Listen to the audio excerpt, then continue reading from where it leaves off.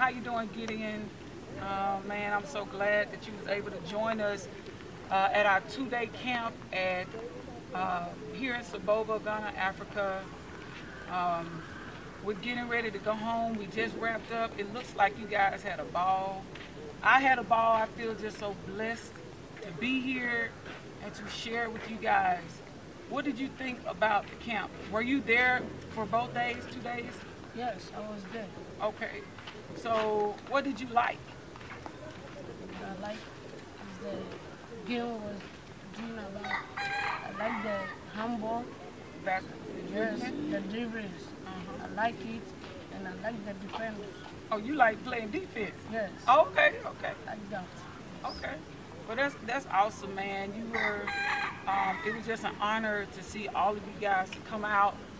You know, to actually want to learn how to play, because they actually put out a request for students that wanted to come and learn, and you were one of the ones that said you wanted to go. I appreciate that.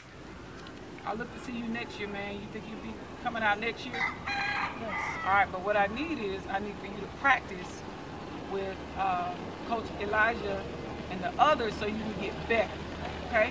So I look to see you next year. All right, man. You have a good one. Nice meeting you. All right? Yeah, that one number.